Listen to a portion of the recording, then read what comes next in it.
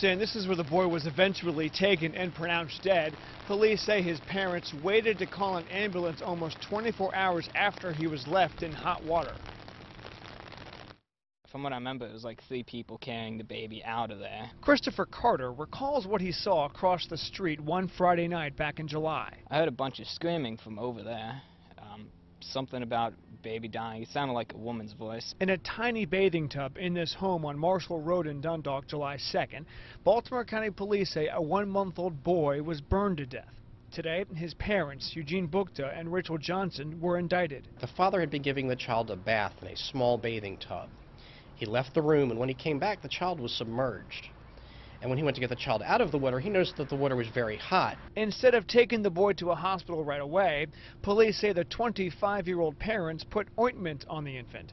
Roughly 24 hours later, the boy stopped breathing. He was rushed to Johns Hopkins Bayview Hospital, where police say the boy died less than an hour later.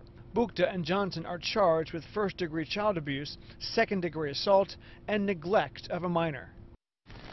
And the medical examiner says the manner of death was homicide, but police say right now there's no evidence the parents intended to kill their son.